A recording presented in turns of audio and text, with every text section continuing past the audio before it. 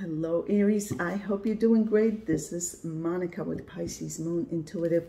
Aries, you want a soulmate reading to check out on the latest energies between you and your soulmate. First, as usual, we're going to ask what's coming up for you, what you'll be dealing with, facing in your life, and how you're currently doing on your soulmate journey. Second part of this video, we're going to ask about your soulmate, whoever it is you're thinking of concentrating on while watching this video whether you're currently in contact with them or not. Universe, please step in, show very clear and important messages for the sign of Aries, for Aries' highest good, please. Universe, please show us what's coming up for Aries in their life and how is Aries currently doing on their soulmate journey. What's coming up for Aries in their life and how is Aries currently doing Oh, on their soulmate journey.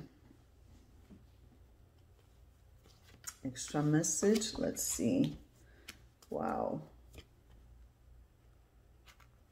Whew. Yeah, this is you feeling like your relationship is on the rocks with your soulmate. Like there are some significant issues and you're scared of discussing it. It's like you don't know how to approach the situation how to address it, but you feel communication will need to happen. You feel like this relationship is on the rocks, it's ending. Yeah. You've been very patient with them. You guys approach relationships from such different angles. They don't communicate well with you for some reason. It's like you're scared to approach them with communication. Yeah, look, I just looked on the bottom of the deck. They're showing up as proud emperor. This person likes to be stoic. Yeah. Oh boy. Let's see. Universe, please show us what's coming up for Aries. And how is Aries currently doing on their soulmate journey? Yeah, you worry a lot. This is you having a lot on your plate, worrying excessively to a point where it's disturbing your sleep, your rest. This is you not sleeping well, worrying excessively. You see, you are holding on to that pillow at night, not sleeping, just worrying, worrying excessively, over analyzing. They don't really communicate with you that much because there's four swords above you and you don't want to fight, you don't want to argue, you still love this person, but you feel like the two of you are just going separate ways.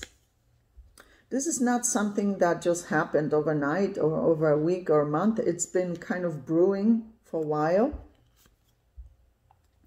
Yeah, you, sometimes you feel so frustrated. You really want to approach them, clear the air with them.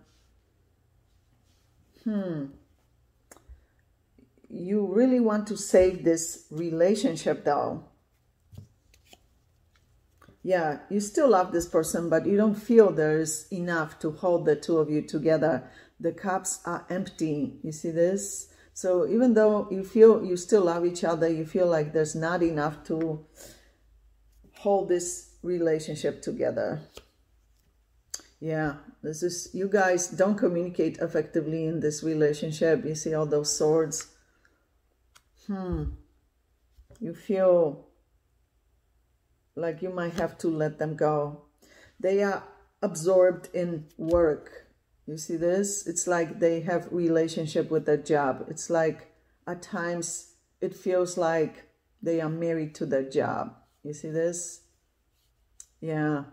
Look, this is their work. This is them thinking about business, work. Not really paying enough attention to your needs or what you are trying to say.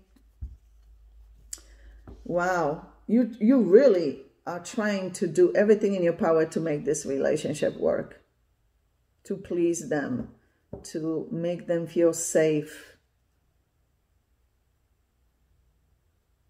But you feel like maybe it's not enough for them. Hmm. Wow, Aries, you're going through a lot. This has been going on for a while. It's just like it's coming to its point where something has to give in. Universe, please show us what's coming up for Aries and how is Aries currently doing on their soulmate journey? Yeah, you feel like it's ending death for the second time, meaning the end of a uh, relationship.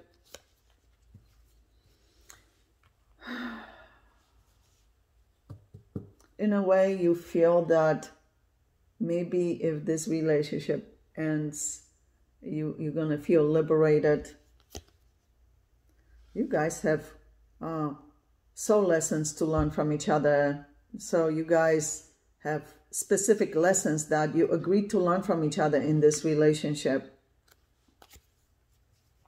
This is a serious relationship. Yeah, this traditionally speaking talks of marriage, but it could also mean engagement, living together.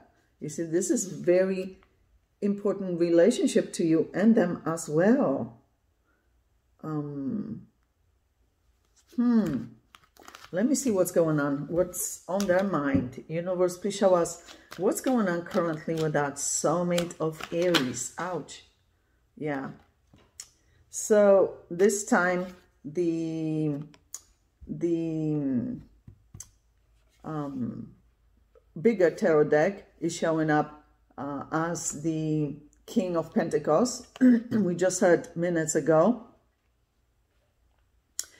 um, from smaller tarot deck.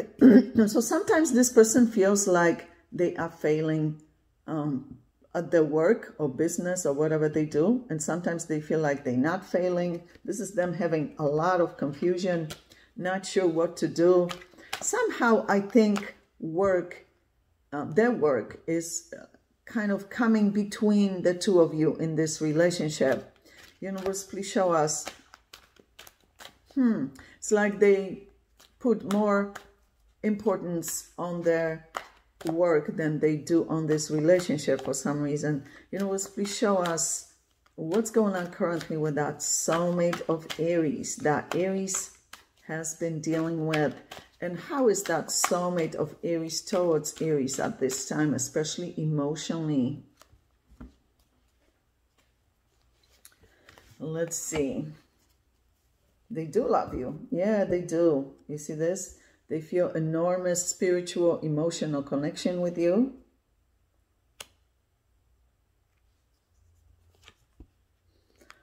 Yeah, you see, this has been brewing for a while. This, this didn't just happen overnight with the two of you are facing problems. This has been brewing for a while. it's like they feel they're failing at whatever they do for living. Like they don't want to fail. They don't want to uh, have you view them as failing in any way whatsoever. Your opinion is very important to this person. Yeah, this person um, is not the best communicator or listener. It's something that they need to learn if they want a stable relationship without proper communication, there's no relationship to speak of. So it's something they're going to have to learn how to do, how to communicate effectively, which also includes how to listen, because a great communicator is also a great listener, right? Let's see their subconscious position. They love you a lot. They really do.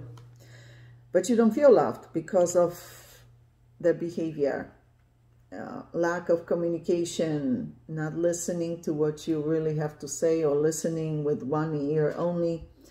They also questioning your feelings for them, whether you still love them or not. They're very curious, but they're not really asking. Universe, please show us directly, at least. Universe, please show us what's, both of you are going through so much. I'm so sorry. Yeah. Universe, please show us what's going on currently with that soulmate of Aries. Yeah, this person still loves you. Oh, they feel so heartbroken that this is breaking up. The worst card in the whole deck, Three of Swords, heartbreak, look, and this is very symbolic. They feel like you are disappointed and walking away from this relationship. They're very good at not expressing on the outside how they really feel, at hiding this heartbreak that they feel uh-oh, what is going on? So there's some kind of drama going on with their job for for this to show up, it means something is, something is off. Something is going on with that job or finances or whatever it is that's going on. This is worrying me because this is um, low vibration energy popping up here. Wow, it's like they feel like they married, like they have a personal relationship with the job.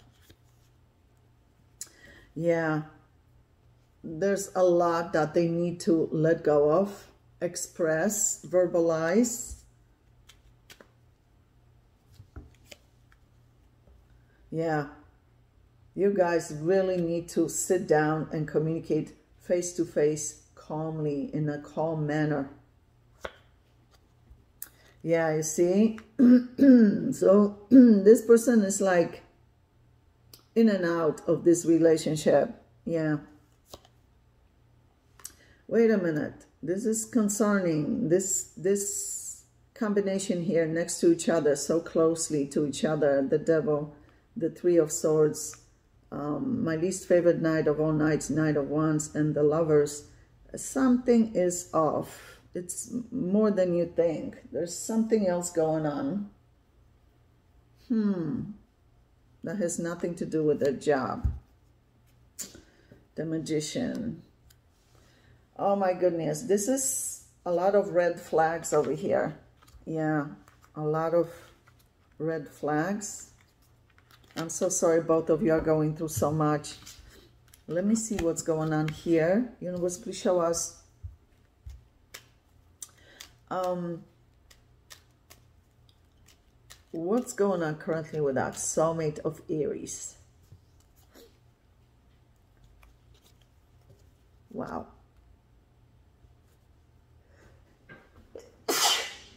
Sorry for sneezing. it's like at times they feel maybe you don't feel they're good enough for you. They think that maybe you look down on them or feel like they're not good enough for this relationship. They feel like they're disappointing you. Yeah, this person doesn't want you to be disappointed. They want you to be proud of them, but they really need to communicate more effectively with you. Wow, this person loves you a lot, Aries. We're going to go into your extended reading.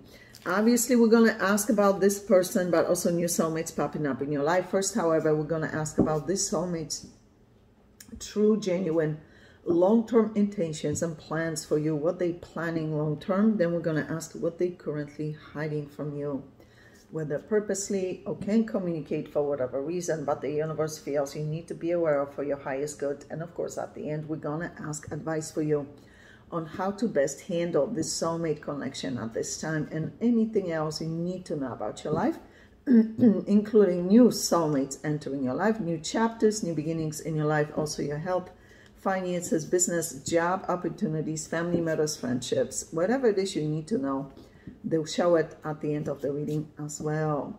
So Aries, click on the extended link below this video in the description box below and I'll see you there. Love you guys.